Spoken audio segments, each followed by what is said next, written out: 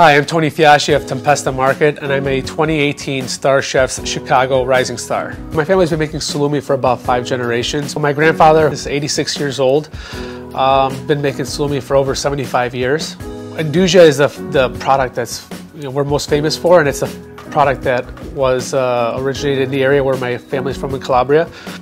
The idea with Nduja, I always have to give credit to my dad. It was because of his pride of wanting to bring an authentic product to market. I took the helm. We now make like almost 40 different products because um, I fell in love with, with curing meats. When we first started, we made 200 pounds. Um, it took me like six months to sell. And now this past month, we processed over 40,000 pounds of meat. As far as coming up with new products, it's a variety of things. Sometimes we just get inspired. Like we, we recently made a uh, Cajun flavored turtle salami just like in a chef is, we're ingredient driven. And I think that's the difference versus a more commodity type product. We came up with this pork liver mousse pre-opening. We had extra from our pork and pistachio pate, and so we wanted to do something with it.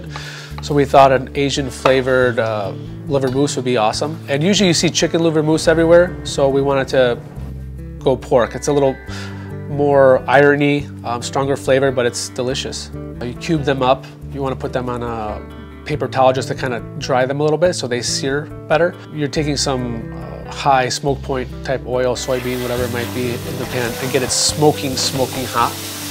Um, throw your livers in there. We'll be careful because when it splashes, it hurts. And it's pretty quick. We'll just maybe 20, 30 seconds, one side, just shake the pan a little bit. Livers come out.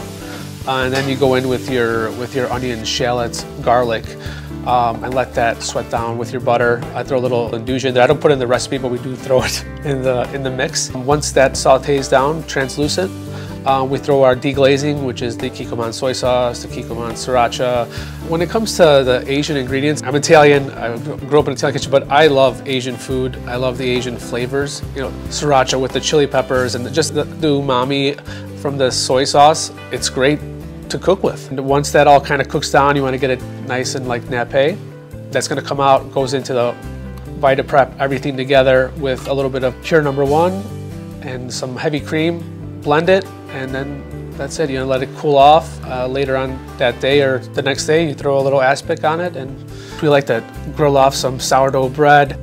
Uh, put a quenelle of the mousse on the board, Fabbri Amarena cherries, Marcona almonds, fresh choppy, and here's our uh, pork liver mousse with Kikkoman soy sauce and sriracha.